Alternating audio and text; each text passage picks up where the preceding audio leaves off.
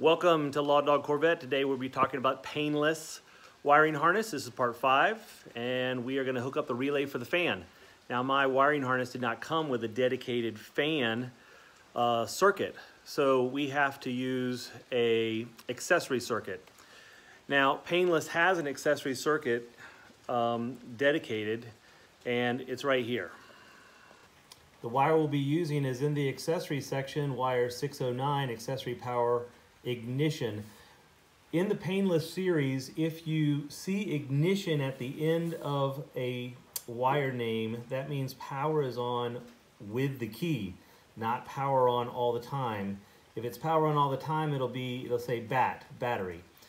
Now this one is wire number 906. It's a 16 gauge wire. It says specifically do not power a cooling fan with this wire directly. So you have to use a relay and that's what we did. So the first thing you have to do is reroute your wire. So in that bundle you will find uh, the pink wire, it's wire 6, uh, 906 and you have to reroute that wire to the front of the car. So you find a hole in the firewall. If you remember from one of our previous episodes, we had a hole in our firewall because we had to cut the firewall to get the fuse panel mounted. And I have not covered that hole up. That hole was right there. There's this little hole. So towards the end, once we have done all our wiring, we'll, we'll come back and seal that up. But right now, it makes a great pass-through for these wires. And of course, that's what we had to do with wire 906. Now, 906 can't power the fan directly because it's too small. So there's where that comes in. This is a relay switch. Now there's lots of videos um, about relays and I'm to take some time out right now to show you how a relay works.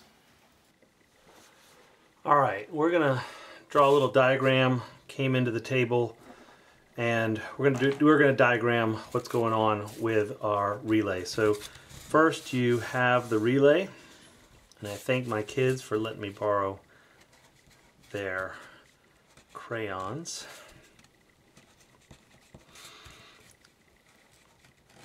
And then there's the relay section. And actually that's the pin.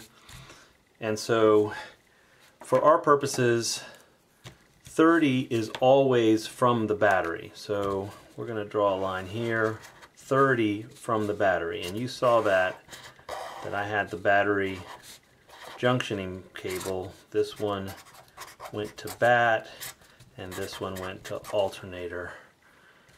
Alright, so we go 30 hot from the battery and this wire right here would be hot.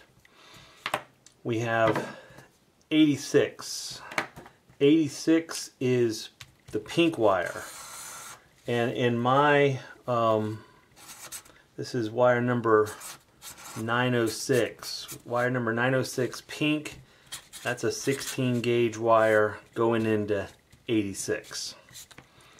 Now, we have 85 and this is ground but of course our ground is going to control fans so our ground is got a temperature switch to it and so it's got a little and so this is this switch this temperature gauge is actually inside the intake manifold and that will ground. So when it hits 175 it grounds out thus completing this circuit and then making that circuit right here close.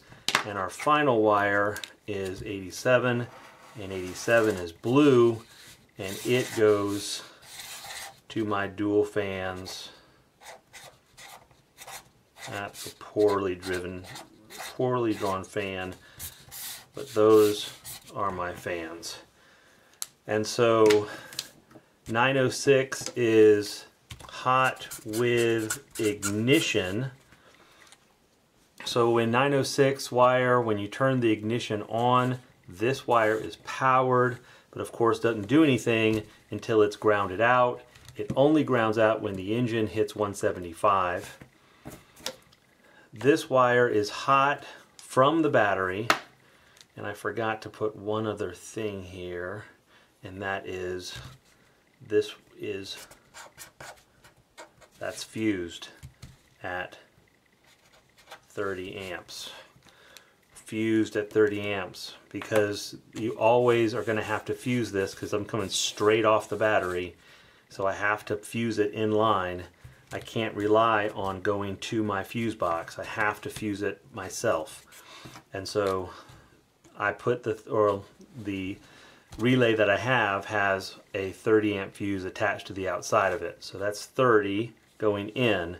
When this connects it triggers this relay closes and then I have 30 coming straight from the battery to the fans, the fans turn on.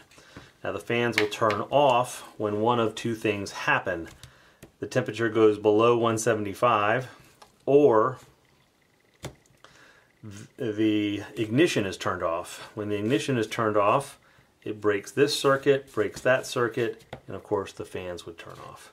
All right, so that's a quick drawing of what's going on with the relay. The things that you have to remember is you cannot, you cannot hook the fans directly to 906. You can't do it. You have to go through a relay. The fans have to be connected directly from a battery source. And the other important thing is you must fuse them. You must, must, must, absolutely must put that fuse in line. If anything happened to these fans, this wire shorts out. If that fuse will pop. If it doesn't pop, that means you're going to have potentially a fire in your engine compartment. That's not a good day. So anyways, you must fuse that there. And then of course, I've got the dual fans. Now there is a setup where you can have two uh, relays going on these two fans. One relay at 175 and maybe you want another relay and another temperature switch somewhere, maybe set that at 190 so you could have one fan come on at one time and another fan come on at another. Right now, I'm just going to have one fan coming. All right, so let's go back to the car. Now that we know how a relay works, here here's the relay mounted to the vehicle. So down here we have our junctioning box. This wire right here goes directly to positive on the battery.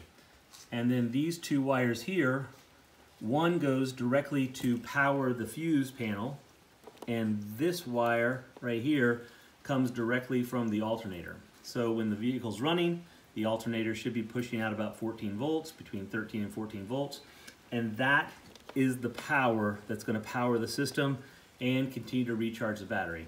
Of course, when the alternator is not on, the battery is running it, and you'll get 12 volts from the battery right here. And of course, that's how you're going to run all of your brake lights, uh, your headlights will work even if the vehicle is not on because of course we have power coming from the battery. Now, so the relay switch, we've hooked up another wire to this junctioning box and this is this wire right here and we saw in our demonstration it has to be fused. So there's a 30 amp fuse right in here and then it goes from the fuse right here to the 30 position. That's the, the pin marked 30 on the relay. And then this pin right here is 87. This is the this is the main power going to the fans. Of course, we don't have our radiator hooked up right now. We don't have our uh, even our front clip on. So right now, that's just an empty wire. Of course, black always goes to ground. And in this case, our ground is our switch. So mounted right here on the intake is our switch. So when this temperature switch hits, I think it's 175, it will automatically ground out, thus opening up the switch. And you saw that this power line, this is still our 906 cable. It goes right in here to 86. And then of course 85 is ground. And that is our first relay. We will probably have two or three more relays. I chose this position on the uh, firewall mostly because it's going to be protected. We're going to have the front clip right there, and then there's a big fender well right here. So should be pretty protected from the elements. Not that you ever drive your Corvette in the rain, right? But anyways, so it should be pretty protected right there. All right, so that was Painless Wiring Harness episode number five. I hope you're enjoying this series. Um, the wiring harness is not easy, but um, you take it one step at a time, and literally you hook up one wire at a time, and after you hook up several wires, it looks like it's almost over. So I'm still uh, have many, many wires to hook up, but like I said, it's just one wire at a time. I hope you enjoyed this video. I'm having a lot of fun uh, with the painless wiring harness and a lot of fun putting this into the Corvette. Hopefully we'll be driving here soon. If you like this video, go ahead and subscribe. And if you have a question about the painless wiring harness and my experience, please put it down below and I will answer everyone. Thanks a lot.